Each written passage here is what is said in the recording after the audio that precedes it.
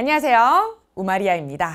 자, 이번 시간은 9월 모의고사 대비 이 통합과학을 어떻게 학습을 해야 좀 잘 우리가 준비를 할 수 있는지에 대한 캐스트 영상을 준비해 봤습니다.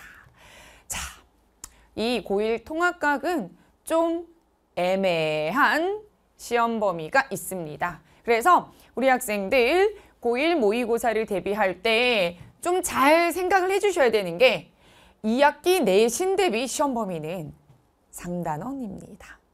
어, 그런데 9월 모의고사 이 시험 범위는 누적해서 1, 2단원이 됩니다. 어, 뭐야?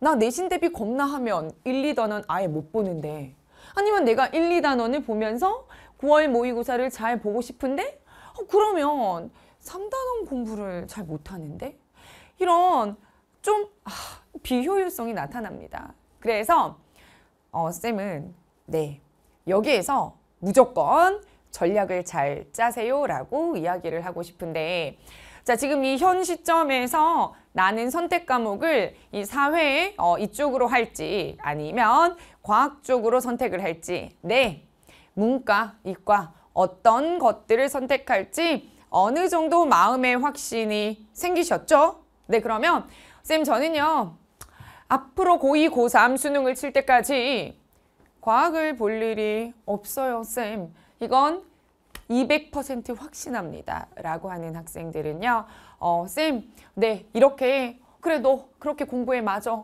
3단원 하세요. 이거입니다. 네. 나는 이번 고1 2학기 시험 대비 성적만 잘 나오면 됩니다.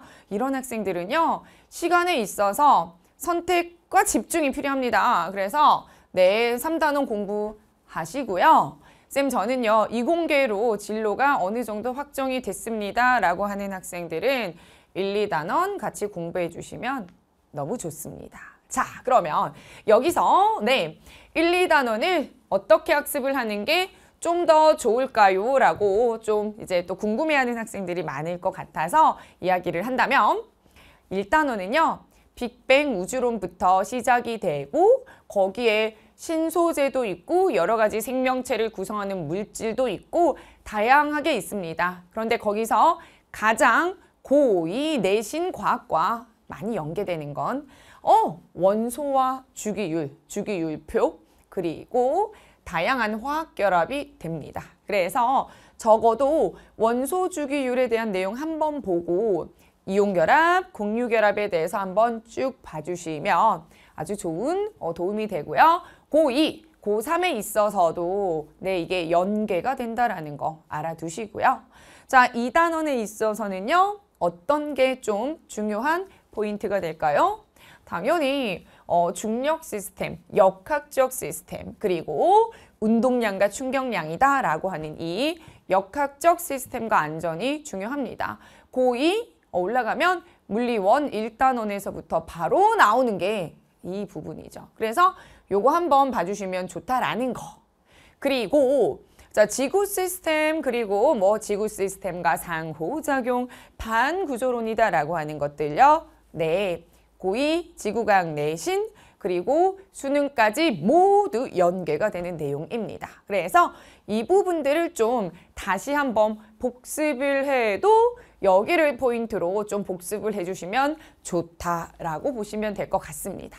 그럼 우리 학생들이 쌤, 어, 저는 세포도 좀 공부했고요. 그 다양한 유전 정보의 흐름이라고 하는 생명과학 부분도 공부를 했는데 그거 9월 모의고사에 안 나오나요?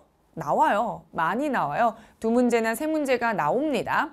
그런데 이 부분이 이제 시간이 충분하다면 이것도 보시면 좋은데 이게 고2 아니고요. 고3 돼서 생명과학 2를 할 때 좀 연계가 됩니다. 그래서 쌤은 고2 올라가자마자 바로 연계되는 단원 이렇게 한번 어, 좀 이야기해 드렸습니다. 네, 이런 정보는 중요하죠. 꿀팁입니다. 이런 부분들로 공부해 주시면 됩니다. 자 그럼 쌤, 저 이 부분을 좀 어느 정도 다 어, 알겠어요. 그리고 빠르게 좀 효과적으로 공부하고 싶어요 라고 하신다면 좀 더좀 좀 자세하게 이야기해 드린다면 1학기 때 1학기 중간고사, 1학기 기말고사를 준비하죠.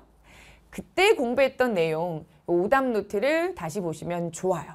어, 웬만한 내용들은 네 앞에서 다시요 이렇게 연계가 되는 것들은 겁나 암기해서 푸는 게 많이 없습니다. 다 원리를 가지고 푸는 내용들이기 때문에 원리를 내가 놓쳤던 그 오답 노트를 다시 보는 게 좀 효과적이겠죠.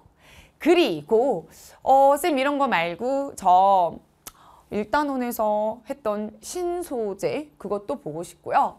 단백질, 탄수화물, 지질에 대해서 암기했던 것도 지금 다시 보고 싶어요 라고 하는 학생들 많겠죠? 자 그런 학생들은 네 우리 학교의 기출문제 두 번 치러진 기출문제를 쭉 다시 풀어보고요. 작년 그리고 네 재작년 9월 고1 모의고사를 한번 쭉 풀어봐 주시면 네 시간 활용에 있어서 이제 아주 좀 잘 효과적으로 쓰지 않을까라고 예측이 됩니다. 그래서 이렇게 1, 2단원 공부해 주시면 됩니다. 자, 그리고 이렇게 공부하고 네, 9월 모의고사 치르시면 되고요. 어, 쌤이 이 9월 모의고사를 대비하는 방법에 대해서도 설명을 하면서 어, 이 3단원도 꼭 공부를 해야 된다라고 이야기를 드리는데 자, 쌤 저는요. 고2, 고3 아, 수능 칠 때도 과학은 다시 보지 않을 것 같아요 라고 하는 학생들 그럼 저는 쌤 이거 9월 앞두고 어떻게 공부하나요?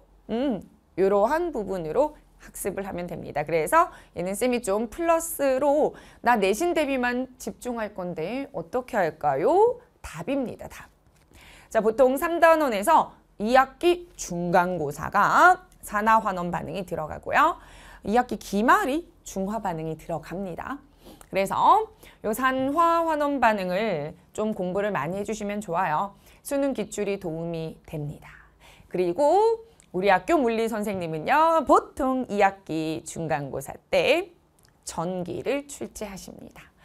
어, 쌤 저 오메 법칙, P는 VR, 한 개도 기억이 안 나는데요? 라고 하는 학생들이 있을 건데요. 자 전기 부분도 사실 여기 있는 화학 부분처럼 수능 기출도 좀 많이 어, 도움이 되는데 쌤이 봤더니 이 전기 부분은 개념에서 빵꾸가 겁나 많아요. 무엇을 기준으로 누구를 가지고 풀지를 잘 모르는 학생들이 있어서 그런 개념적인 요소들 그러니까 문제를 풀면서 내가 기니디 중에 막 흔들리는 그런 개념이 있어요. 그래 그런 것들을 좀 같이 보면서 내신 대비해 주시면 아주 좋은 결과 나타날 것 같습니다. 되셨죠? 자, 그래서 저는 이렇게 내신 대비에 집중하는 것까지 안내해 드렸습니다. 자, 그리고 이제 마지막 페이지가 나왔는데요. 쌤이 고1과 고2 학생들에게 어, 항상 마지막 대사를 이렇게 이야기하고 있습니다. 현장에서도 그러고 온라인에서도 그런데 올해 2023년도 학사 일정이 좀 이상해. 어, 극단적입니다. 어, 뭐가 극단적이에요? 전국의 50% 학교는 추석 전에 모든 시험을 치러요. 그리고 50% 학교는 추석 이후 10월에 시험, 시험을 치러요. 그래서 굉장히 일찍 보는 학교 그리고 굉장히 늦게 보는 학교가 이렇게 약간 양극화가 됩니다. 그러면 자 굉장히 시험을 일찍 봤어요. 이런 학생들은 10월 그 시간이 붕 뜨게 됩니다.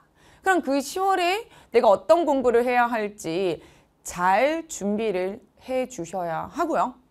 그리고 저는 10월 한 15일쯤에 시험이 쳐요. 시험 그때 다 쳐요 라고 하는 아이들은 지금부터 몇 주나 남았어 얘들아 거의 두 달 남았다 이렇게 말을 할 수도 있죠. 그런 학생들은요.